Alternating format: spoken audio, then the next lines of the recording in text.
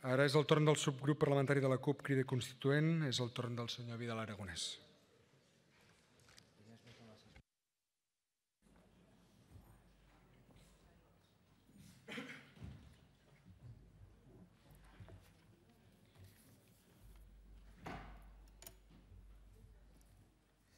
Diputades, eh, treballadors i treballadores del Parlament i treballadors i treballadores al Parlament, eh, feia referència no únicament a Kant, el portaveu de Ciutadans, sinó també feia referència a Kelsen.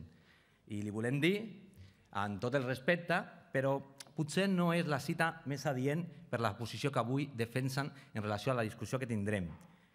Li recordem que Kelsen va ser nomenat membre vitalici del Tribunal Constitucional austríac, vitalici, i que va ser cessat per la seva condició que no militant de socialdemòcrata. Guardaria força relació amb el que anem a discutir avui. Però si a vostès els agrada Kelsen, haurien de recordar que Teoria pura del dret es va escriure a Ginebra, a la Universitat de Ginebra, a l'exili. Una abraçada molt gran, Anna.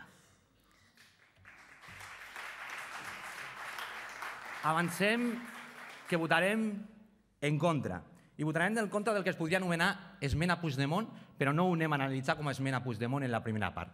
Anem a analitzar-lo des del pla merament de modificació general de la normativa. El primer que ens planteja el grup del Partit Popular és que els mitjans materials i personals únicament a disposició al territori català.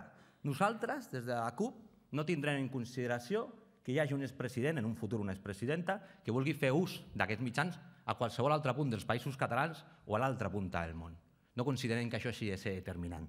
Que es pot fer millor amb residència a Catalunya? És possible, però que es pot fer perfectament fora del Principat de Catalunya? També.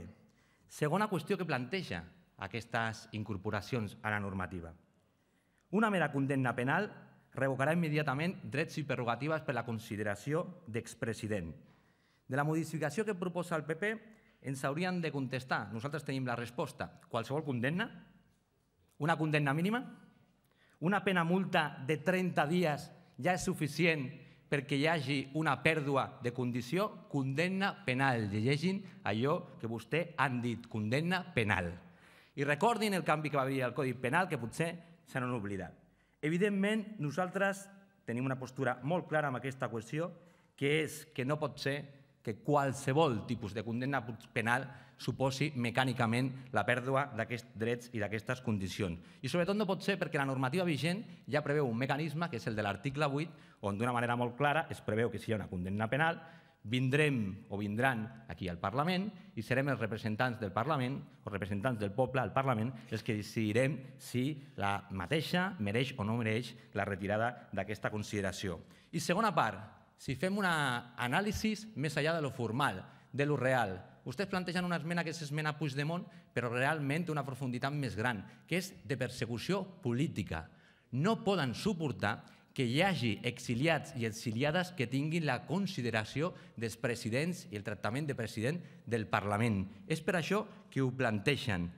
També els diem, i ens hagués agradat que hagués estat aquí el senyor Albiol, amb aquestes mateixes lògiques plantejaran una modificació del ROM de Badalona perquè aquells que no resideixen i diem efectivament a Badalona no tinguin el tractament d'exalcaldes, plantejaran també una modificació del REM del ROM a Badalona per a aquells i aquelles que no resideixen efectivament a Badalona no tinguin els mateixos drets, hauríem de ser coherents i també fer aquestes consideracions, aquests canvis normatius. I esperem ara, a més, que no li demanin als socialistes que a Badalona es cobri per no estar present en més d'un 25% del temps dels plens. I per últim, és curiós, però algú s'imagina què hagués fet la mm, bruneta mediàtica si haguéssim estat els grups independentistes els que introduïm una modificació d'aquest reconeixement on es parla directament que s'ha de residir a Catalunya, matí, tarda i nit, ens, estarien dient que som, ja sabem els termes, els que repeteixen per activa i per passiva. Evidentment, com ha fet el Partit Popular, no eh, donant aquesta consideració. I el que és el fons de l'assumpte? Per què també estem en contra d'aquesta modificació? Perquè no volem deixar en mans dels seus amics togats i amb punyetes que directament per una sentència judicial es deixi sense reconeixements a un president de la Generalitat de Catalunya o en un futur amb una presidenta de la Generalitat de Catalunya.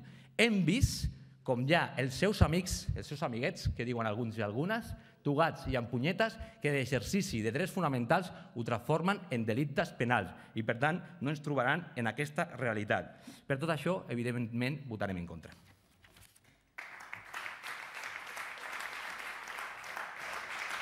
Gràcies, senyor Aragonès.